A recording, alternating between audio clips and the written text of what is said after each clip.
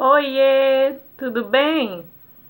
Gente, então, como eu já havia falado alguns dias atrás, né, que eu iria trazer um perfume aqui, que foi meu primeiro perfume importado. Até já comentei sobre ele em alguns vídeos. Pois é, hoje resolvi mostrar ele aqui para vocês, né? Porque muita gente pergunta ah, qual é o seu perfume preferido ou qual foi o perfume o primeiro importado que você usou. Então, como não faz muito tempo que eu uso perfume importado, né? Faz 12 anos que eu uso, que eu conheci perfumes importados, né? Durante toda a minha vida, acho que eu já nasci assim, gostando de perfume, fragrâncias, né? Mas assim, eu usava muito é, Natura, Boticário, Avon, nossa, quando é, naquele tempo que eu fui assim crescendo, né, na década de 90, quem podia ter um perfume da Boticário era quase uma celebridade, né, gente? Hoje em dia, né, as coisas estão bem melhores, mas na minha época de adolescente, para ter um perfume da Boticário era a coisa mais rara do mundo, né? Então eu Primeiro fui usando Avon, depois a Natura, que é maravilhosa, e depois a Boticário, né? E mesmo assim, como eu, eu brinco em outros vídeos, né? Quando eu era uma menina inocente, né? Não ligava para importado. Mas aí a gente começa a, a trabalhar fora, né? E aí você vai conhecendo as coisas boas da vida, né? Usava coisas boas, mas assim, quando você conhece os importados, aí pronto. Até hoje eu uso de tudo, né? Eu sou bem eclética, mas perfume importado é uma perdição, né, gente? Então, é, não sei, acho que é aquela coisa devido ser de outro lugar, né?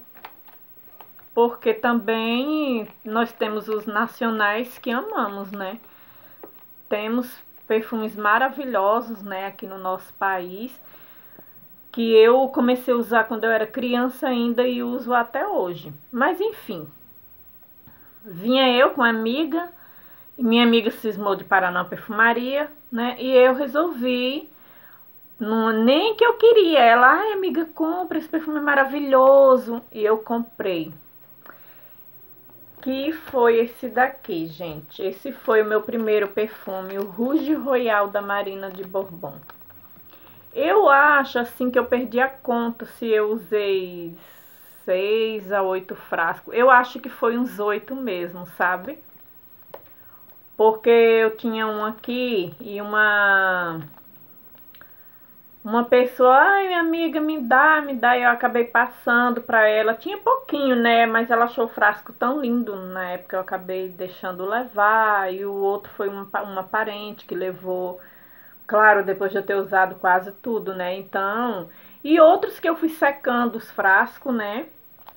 Então, assim, é um perfume que, por mais que eu tenha outros, eu sempre quero ter ele.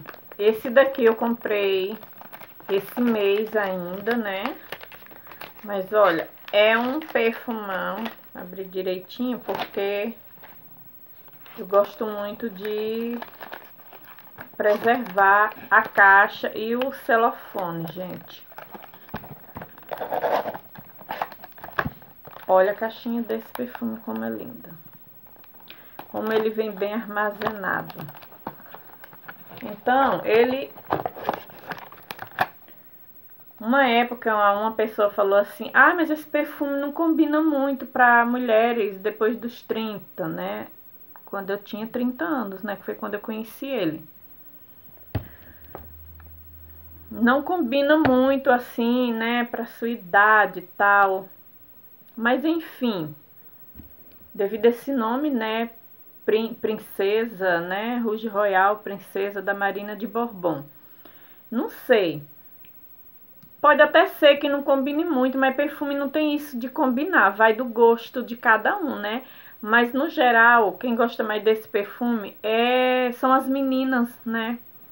Geralmente são as meninas abaixo de 30 anos, né? Mas eu gosto dele, que ele tem um cheirinho muito agradável, um cheirinho assim delicado, um doce maravilhoso. Eu achei ele um perfume excelente para um encontro romântico, sabe? Ele lembra uma época, uma época que eu não vivi, coisas de praticamente de filme, de cinema, sabe? Quando eu sinto esse perfume, ele me transporta para uma época assim, tipo uma coisa romântica, bem antiga, sabe? É isso que eu sinto quando eu uso esse perfume. Ele é um perfume assim excelente para encontros amorosos, eu acho. É um perfume que não agride o olfato de ninguém. Perfume gostoso, agradável de sentir. O morango dele é maravilhoso. Eu só saía com esse perfume. Eu lembro de uma época que eu saía assim, né, com inclusive uma pessoa que eu tive na minha vida e eu só usava esse perfume, né? Então, era para tudo, para tudo, sair assim, para uma churrascaria, para tudo, desde que saísse, né, com essa pessoa, né? Era com esse perfume aqui. Então eu usei ele durante uns três anos seguidos, sabe? Acabava, eu comprava outro. Acabava, comprava outro. E vez ou outra era que eu usava um perfume ali no meio, né? Mas ele sempre, sempre eu tive na coleção. Esse bichinho aqui, lindo e maravilhoso. Então, Rouge Royal Princess é um perfume floral frutado, lançado em 2002. No topo ele tem morango cassis ou groselha preta e limão Tahiti. No coração tem o jasmim e lang-lang, lírio do vale. E no fundo tem musgo de carvalho e opoponaxe. Então, eu já falei também em outros vídeos que eu amo o perfume que tem ilang-lang, né? Como eu falei, que é um perfume romântico, para encontros românticos, para namorar. Então, ele tem tudo isso aqui, sabe? Eu acho que ele envolve todo esse meio de paixão, né? Amores, encontros. Eu acho que ele é exclusivo, gente, para isso, sabe? Para você ir no encontro especial com alguém, com seu marido, seu namorado, né? Ou seja, para esses fins aí, né? E esse frasco também que é lindo, esse vermelho dele, né? Então foi um perfume que marcou muito a minha vida e marca até hoje. Tá bom, povo lindo? É isso, é um perfume também que tem boa fixação, ele não projeta muito. Quando eu passo ele, ele fica umas duas horas de projeção, mas ele fica aquela coisa bem maravilhosa. Quem chega perto de você vai sentir que você está perfumada, né? Com cheirinho muito atraente, muito sexy, muito envolvente esse perfume aqui. Então, queridos, é isso que eu tinha para falar, né, do Rouge Royal da Marina de Bourbon. Ah, outra coisa, um perfume muito parecido com ele que a Boticário acabou de lançar, né, o Liz.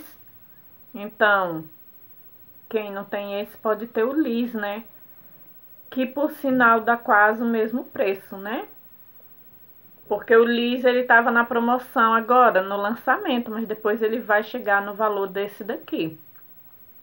Ele vai para quase 200, né? Esse aqui eu paguei 200, 200 em 30 ml, então o Liz vai chegar praticamente nesse valor. Tanto um quanto o outro são maravilhosos, mas esse daqui, ele, eu acho que ele é mais assim, delicado sabe? Ele é mais. A proposta dele é mais agradável para você usar, para você sair. E o Liz é um perfume que a pessoa pode sair para outros lugares, né? Devido ser mais forte o, as notas frutadas dele, né? E esse daqui você sente mesmo o morango. Então, queridos, um beijo para vocês. Espero que tenham gostado e obrigada por ter assistido e a qualquer momento. Um beijo, tchau!